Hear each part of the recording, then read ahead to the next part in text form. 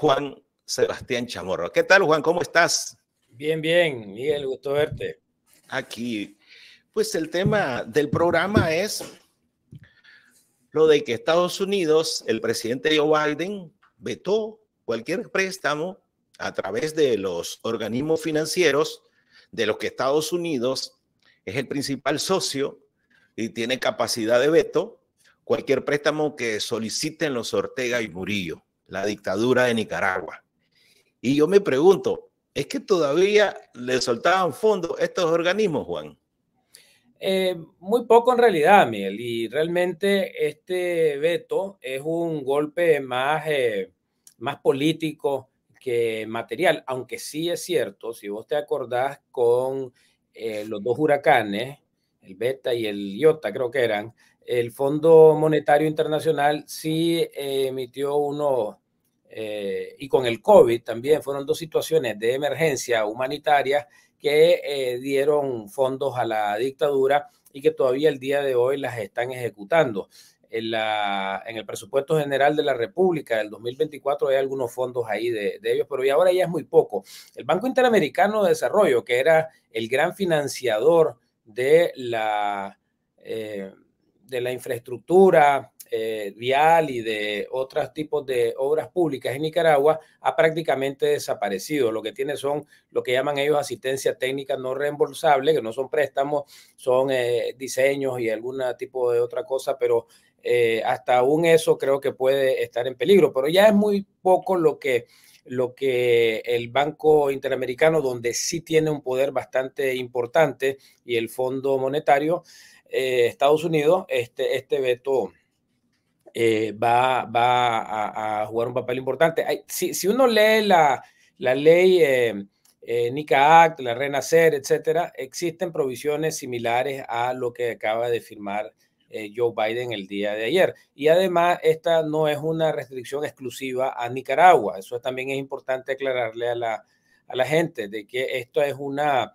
una cláusula que Biden aplica para Rusia, para Bielorrusia y para otra serie de países de este, este grupete ¿no? que Ortega nos ha metido, eh, que eh, básicamente son los máximos violadores de derechos humanos en todo el mundo. Entonces, eh, es un golpe político. Yo creo que el, el, golpe económico más importante, que tiene más significación en este momento, Miguel, es el, el veto que sí le dio Lula a la entrada de los BRICS, porque los BRICS, eh, los BRICS es, pues, es, este banco, una especie de alternativa al Banco Mundial, que no le llegan ni a los talones, pero en términos de monto, cartera y número de países, pero es el grupo conformado por Brasil, por Rusia, por India y por China. Por eso se llama BRICS. Este, y entonces, eh, y Sudáfrica, esta es la S de BRICS. Entonces, ese selecto país, eh, grupo de países, pues básicamente se reparten ahí unos préstamos, etcétera, y a ese Ortega le estaba echando el ojo. Entonces, eh, con la, y, el que estaba más avanzado en el proceso era Venezuela, y, Maduro se había llenado la, la boca diciendo, hombre, vamos a entrar a los BRICS, vamos a tener fuentes de financiamiento, etcétera, y Lula lo veta por el robo descarado de las elecciones. Entonces ahí nomás se pasa llevando en la balastra, como decimos en buen nicaragüense, cualquier pretensión que tenía Ortega y había mandado al Chihuín, no sé si te acordás, a, San Petersburgo, a un foro internacional de, corruptos y de ese grupo de gente, eh, y habían hablado de la importancia de buscar esta alternativas a los fondos eh, occidentales. Entonces, ese es otro golpe también. Esta ha sido una, una muy mala semana para los Ortega Murillo en la consecución de recursos. Eh, la, el veto presidencial de ayer, que como te digo, tiene una extensión de un año y es prácticamente la continuidad del estatus legal que ya existía.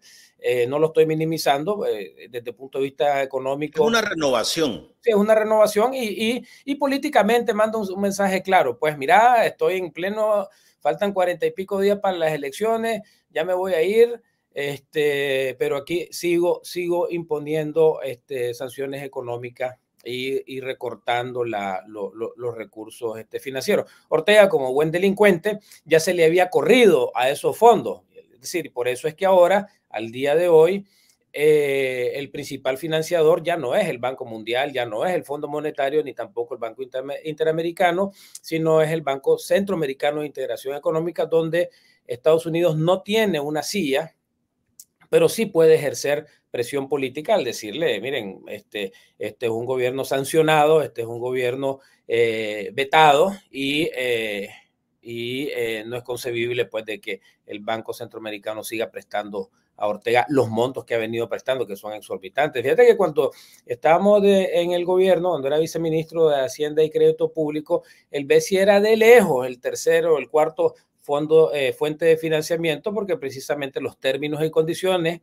que se expresan principalmente en tasas de interés más elevadas y plazos de gracia menores, era el Banco Centroamericano. Entonces lo veíamos, digamos, como un prestamista eh, de segunda o tercera instancia. Primero estaban las donaciones, después el Banco Mundial, eh, Fondo Monetario, Banco Interamericano y por último el Banco Centroamericano. Ortega solo se ha quedado o se quedó pues mientras tenía de socio a Dante Mossi al Banco Centroamericano que abrió, abrió el hidrante de recursos.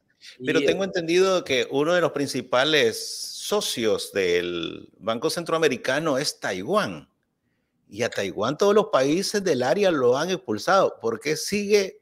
Creo que tiene capacidad de veto Taiwán ahí en el BESI o no.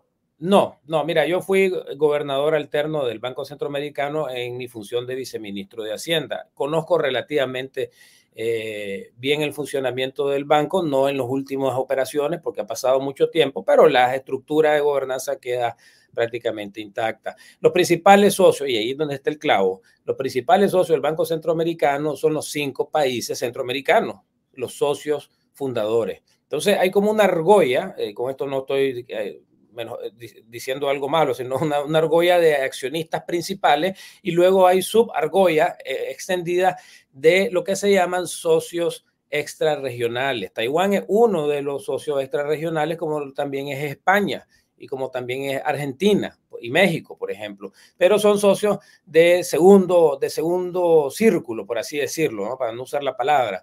Entonces, el, el, el, voto principal lo tienen los cinco países y ahí es donde se complica el asunto, porque entonces vos estás en, una, en un club cerrado de cinco socios donde básicamente, bueno, y ahí pasa, pasa el sombrero, me toca a mí y si me cortas a mí, entonces yo te corto a vos. Entonces, ahí, digamos, la, la administración del banco eh, eh, tiene un problema bastante serio a la hora de presentar proyectos porque efectivamente tiene que ser equitativo entre todos los, socios. Por eso es que ha sido tan complicado eh, hacer incidencia en que no se le preste, sobre todo para temas de represión, construcción de, infraestructuras de carcelarias de la Policía Nacional al Banco Centroamericano, que no está diseñado para ese mandato está diseñado para ayudar a, como su nombre lo indica, la integración centroamericana, mejorar proyectos de facilitación eh, aduanera, portuaria, de infraestructura, etcétera. No está diseñado para estar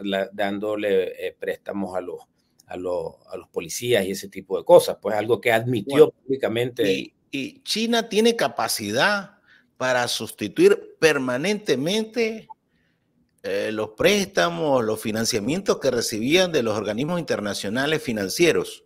Porque, bueno, hace unos días se dio el informe que Ortega y Rosario Murillo dependen exclusivamente ahora de los chinos. Bueno, hay un informe que en el primer trimestre del año de 883.8 millones de dólares de deuda que adquirió eh, el régimen, 700 millones fueron desde China, proveídos desde China. O sea, ¿qué, capacidad, capacidad tiene? Pero pregunto, eh, ¿será, ¿será que sean los chinos, por eso le vale tanto a, Ortega y a la Chayo hacer lo que hacen con tal de que, porque van a sobrevivir? Mira, lamentablemente esa es una realidad.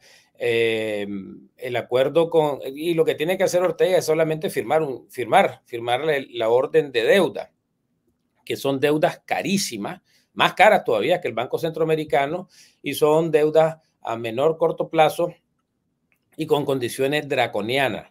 Eh, recientemente se han hecho algunas publicaciones, yo tengo el, contrato de, eh, del aeropuerto, te lo voy a facilitar, del aeropuerto Punta Agüete y en mi vida, en mi vida, en mi carrera profesional de finanzas públicas, de economista, he visto unos términos tan denigrantes desde el punto de vista fiscal, tan draconianos, tan salvajes como los que los chinos están imponiendo al régimen de Nicaragua. Este es un contrato, solamente ese contrato en dos tramos suman, Miguel, 480 millones de dólares, para que estemos claros. Es, es un monto altísimo y como cuando digo que Ortega solo tiene que firmar, pues básicamente firma el, contrato eh, y eh, tiene que poner de adelanto el 20% de la, del monto de la obra o sea, está pidiendo plata, pero le obligan a que ponga él el 20% de la obra. Eso yo nunca lo había visto, que una, que una condición de, deuda eh, te obliguen a poner el 20% de la deuda que estás buscando, que ni siquiera la has conseguido. Y entonces, de tal manera de que este show que hicieron con el Chihuín, de ir a poner la primera piedra, todo eso fue con plata que Nicaragua tuvo que poner tuvo que poner de adelantado. Entonces, eh, a ese 480 millones de dólares tenés que sumarle que los chinos ya tienen firmado con Ortega eh, la construcción de dos plantas eh, solares, alrededor de otros 100 millones de dólares, una planta de 90, perdón, un poco más, y otra de 80 millones de dólares, los dos en el departamento de Matagalpa, el tramo 3 de la carretera costanera, solo hay ahí como 40, 50 millones de, de dólares eh, y un préstamo para eh, mejorar el sistema de emergencia entre desastres naturales. Y eh, finalmente otro proyecto como de 60 millones de dólares para la construcción de tanques de eh, gas licuado. Probablemente esto va a ser en el puerto, puerto Sandino. Entonces, con todos estos seis proyectos que te estoy sumando, ya te volaste los 700 millones que vos decís. Eso ya está contratado. Y Nicaragua tiene que poner entre el 15, dependiendo del contrato, te lo voy a mandar, el 15% o el 20% de adelanto de la obra. Entonces, este, estamos viendo que Ortega está endeudando con los chinos de una manera eh, brutal como nunca se había visto. Entonces, si anteriormente los préstamos del BESIE eran complejos para el pago de Nicaragua, ahora van a ser peores para el caso de los chinos. Y por eso es que te estás preguntando, y nos estábamos preguntando por qué es que hasta ni siquiera quieren pagarle la luz y el agua a las universidades, y que no tienen plata, no tienen plata para hacerle frente a las obligaciones que los chinos les están, les están imponiendo. Eso, eso es lo que digo porque, bueno, describí estos tres proyectos, se fue esta plata, se acabaron los proyectos sociales en Nicaragua. Bueno, queda, digamos, a mí me da mucha tristeza, por ejemplo, ver el programa de inversiones públicas de este año y el gasto de educación, de inversiones en escuelas primarias, escuelas secundarias, rehabilitación de aulas, eh, construcción de escuelas nuevas está prácticamente en su mínimo y todo financiado con el presupuesto general de la República, porque los chinos no, le, los chinos no, no, no, ayudan a construir educación, por ejemplo. Entonces, eh, y anteriormente era prácticamente una... Eh, digamos, una división del trabajo que se le había dado al Banco Mundial para apoyar el tema de la educación y también los japoneses que, que construían, la verdad es que construían muchas aulas con el Fondo de Inversión Social de Emergencia. El Fondo Social de, Emergencia se acabó, lo acaban de eliminar hace 15 días y el, el Banco Mundial ya no presta para, para educación. Entonces, este, el gasto social se está evidentemente resintiendo eh, con esto eh, se están rehabilitando algunos hospitales con el fondo del BESIA, se está, como saben la gente de León, se está, eh, se está construyendo un edificio nuevo el, de Leodra, en Chirandega, en Bilwi, y también en Managua se han reconstruido el Bell Spice, etcétera. Pero todo esto es con financiamiento del Banco Centroamericano, eh, con empresas que son repartidas entre ellos mismos, eh, aumentando significativamente el, costo. Y en todo caso, son solamente eh, reemplazo, esa es la palabra, reemplazo de los hospitales que ya existían, no significa que están aumentando la infraestructura social. Ahora, para, para que la gente comprenda el asunto de los números, Juan, este, ¿cuál es la diferencia entre que China le preste a Nicaragua a que sean organismos financieros? Bueno, en primer lugar, eh, hacerle, de cuenta, hacer cuenta de que esto es un préstamo de un préstamo personal, ¿verdad? Entonces, si, eh, si viene el chino, viene el chino y me dice, mira, me vas a tener que pagar a vamos a decir, el 8%, no es el 8, un poco, eh, porque estos son préstamos internacionales, la, cuando uno presta en, el hogar es mucho, mucho más los prestamistas, pero me vas a dar, el, te voy a prestar este, 100, pero ya 20 son, son míos. O sea, eh, vos tenés que buscar cómo financiarte eh, esos 20 y te voy a dar un periodo de gracia de, de, un, de un mes.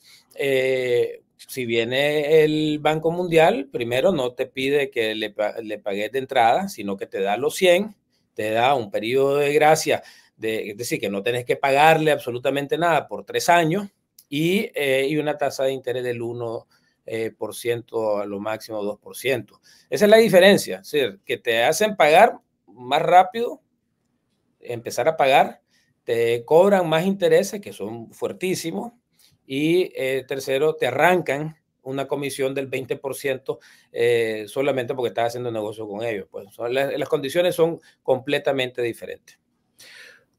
¿Cómo hace la dictadura para no recibir préstamos internacionales así con algunas facilidades en cuanto a los intereses, pero tiene una cifra récord en cuanto a las reservas en Córdoba, en el Banco Central. ¿Cómo es que hacen?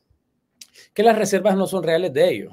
Las reservas son dineros que están en, los bancos en forma de depósitos también. El Banco Central tiene reservas propias también, pero eh, el, flujo de, dinero que viene producto de las remesas, entonces viene un, un Córdoba, un dólar, llega a Nicaragua, ese Córdoba tiene que ser cambiado en un banco, en lo que sea, ese, ese dólar pasa a, la, a las reservas y el Banco Central está obligado a emitir 36 6, por, 6 córdobas por cada dólar que, que, recibe. Entonces, ese dólar realmente no es plata que directamente eh, lo recibe eh, o, lo recibe como ingreso el, Estado de Nicaragua, sino que le entra porque tiene que hacer el cambio a, Córdoba. Ahora sí, eso, esos dólares sí son de ellos, pero no es que se los prestaron ni que se los regalaron para que ese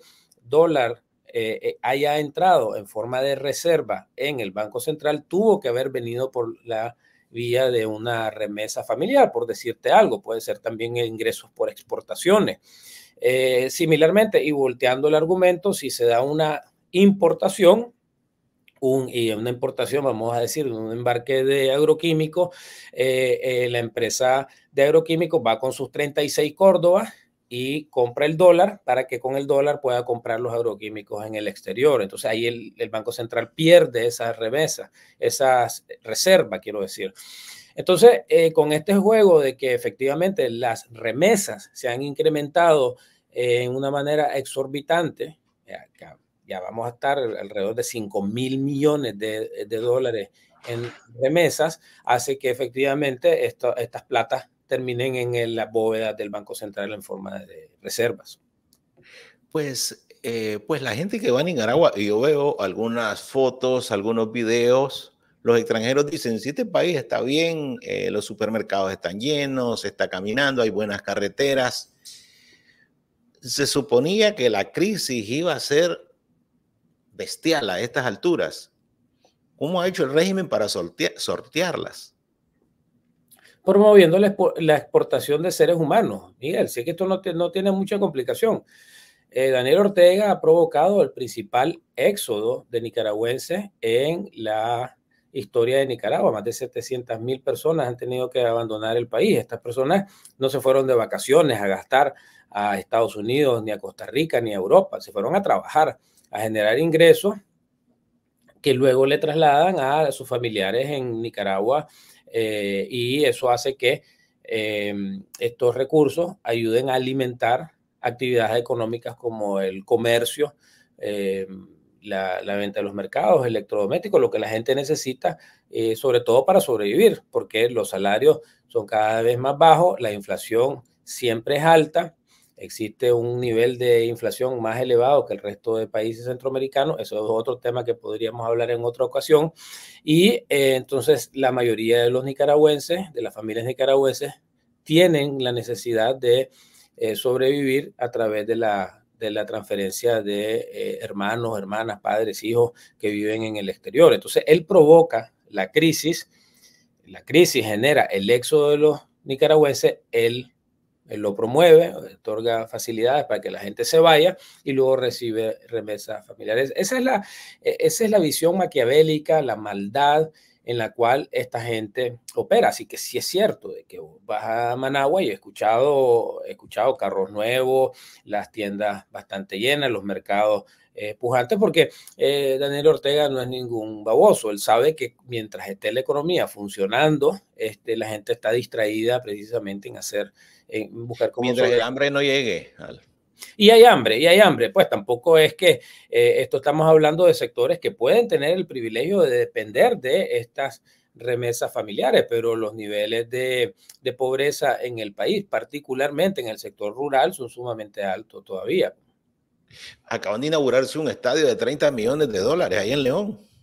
Bueno, esto es parte del pan y circo que ellos le deben de, ofrecer al pueblo para que efectivamente se cumpla lo que te estaba diciendo precisamente hace unos minutos, mantener distraídos a la gente eh, con estas obras que este desde el tiempo de los romanos, esto no, esto no lo están inventando ellos, desde el tiempo de los romanos hacían los, los, juegos de los gladiadores para precisamente mantener este, distraído al pueblo.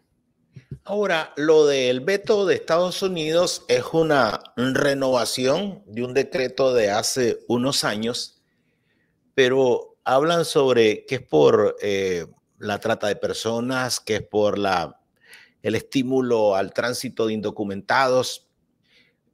Esto, eh, y, en qué parte dicen o eh, en qué momento mencionaron que también tenía que ver con, por los crímenes? Porque eh, pues todos consideramos que lo más pesado de los Ortega y Murillo ha sido lo que le hizo a la democracia.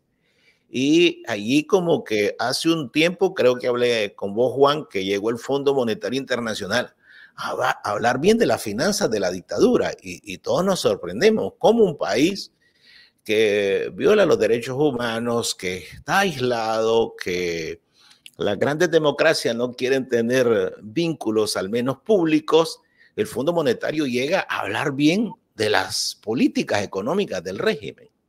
Bueno, me estás preguntando dos cosas y voy a contestar cada una de ellas por separado. En primer lugar, el tema de eh, los crímenes eh, siempre están presentes, obviamente, y continuamente la comunidad internacional los ha estado eh, anunciando eh, y denunciando. Pero tenemos que recordar que en Estados Unidos hay una campaña electoral donde precisamente el tema de la migración es un tema muy importante. Entonces, no es casualidad que en este anuncio se esté hablando de un tema de eh, migración o trata de personas y sobre todo, sobre todo cuando Ortega en los últimos, en el último año ha estado utilizando la migración, particularmente lo que le llaman eh, migrantes extracontinentales, es decir, gente que viene de África, de Asia, del subcontinente de India, etcétera, hacia Estados Unidos. Entonces, en ese contexto es de que están diciendo, bueno, estos países están contribuyendo con la movilización, con la trata de personas, el aprovechamiento, la necesidad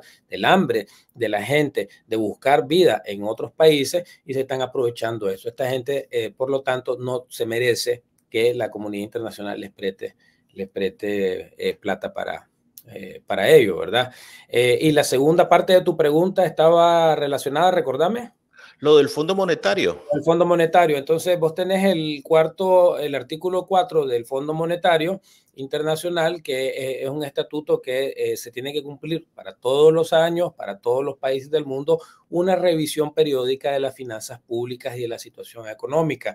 Eh, y efectivamente, esto, este documento se hace en conjunto Fondo Monetario, y te, te, lo estoy contando el antecedente para que eh, los lectores juzguen, ¿verdad?, qué es lo que está pasando. En el tiempo que estábamos eh, con el, gobierno, este, este informe del artículo 4 se hacía en conjunto y con la aprobación del gobierno en cuestión. Entonces, eh, eso está diseñado así. Entonces, ahí tiene, ahí, y no estoy defendiendo el Fondo Monetario, pero solamente estoy describiendo cómo es el proceso. el, el artículo 4 se tiene que escribir en consultas, por eso se llama consulta del artículo 4 con el gobierno en cuestión. Y ahí, digamos, el, eh, lo que trata de hacer es el, el, gobierno de resaltar, eh, como siempre lo hace, los mejores los mejores logros, etcétera. Y si efectivamente eh, se han incrementado la, recaudación de impuestos, por lo que hemos estado hablando de la actividad económica en crecimiento, y eso lo resalta el Fondo Monetario. Pero este es un informe bastante técnico que hay que leerlo entre líneas. También el Fondo Monetario tiene algo que decir y menciona de que hay temas, por ejemplo, dice hay que mejorar la transparencia en la publicación de los datos. En lenguaje diplomático te están diciendo que están mintiendo con los datos económicos hay, que mejorar y reforzar los esquemas de, eh, de, contrataciones del Estado. En lenguaje no diplomático están diciendo que se están robando los reales. Eh, hay que mejorar y fortalecer los sistemas de, de, justicia en el país. Lo que te están diciendo en lenguaje no diplomático o en lenguaje diplomático es que están utilizando la, las leyes como instrumento política, político. Entonces, este, eh, digamos, eh, sí es un, un, informe que nosotros lo hemos protestado, porque además, y para mí lo más fundamental de todo, es que desconoce una cosa fundamental de lo que está pasando en Nicaragua, y es que esa ficción o ese crecimiento económico en base de remesas familiares viene a un costo altísimo de pérdida de capital humano viene a un costo altísimo de personas que se han educado en el sistema público de educación primaria, secundaria, tal vez universidades, que han abandonado Nicaragua y que están ahora trabajando en otros países, contribuyendo muy bien para ellos y su familia, pero a un costo altísimo para el eh, crecimiento y el desarrollo económico de Nicaragua. Y eso es lo que el Fondo Monetario olímpicamente ignora. El costo humano, social de la separación familiar, el costo económico de que se hayan perdido estas familias eh, probablemente para siempre y la insensibilidad a los temas de crímenes cometidos por la, por la dictadura. Esto es algo que lo hemos protestado, lo hemos dicho. el Fondo Monetario eh, no responde porque no responde a sociedad civil su por, por, mandato. Ellos tienen una visión solamente de trabajar con gobierno en temas de finanzas públicas, pero vamos a seguir tocando esa puerta reclamando de que el Fondo Monetario tiene que hacer una em, evaluación más balanceada de lo que está pasando en Nicaragua y no solamente ser pasapapeles, que no lo es en realidad, pero pareciera que sí, de eh, lo que le está pasando el gobierno que publique.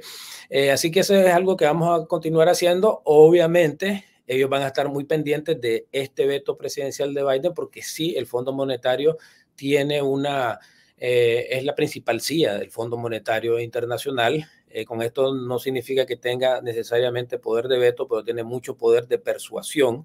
Y eso va a hacer de que el Fondo Monetario no preste eh, platas a Nicaragua en un contexto donde se le está apretando la cartera a Ortega. Como te decía, no les está pagando ya ni la luz ni la ni el agua a las universidades que están corriendo gente. Eh, habría que actualizar cuánta gente están, han corrido hasta el momento. Yo no me atrevería Anda por los 2.500 los empleos públicos. Empleos públicos.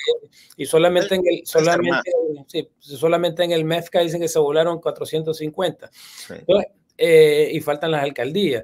Entonces, este, ahí lo que, lo que estamos viendo entonces es, este, es continuar con, la, con, con, con, esa, con tocar la puerta a instituciones como el Fondo Monetario y, y resaltar de que esas platas son para, para reprimir a la, a la gente y, eh, y, en ese contexto, pues el, el anuncio de, de, de Biden el día de ayer sí va a tener un impacto importante.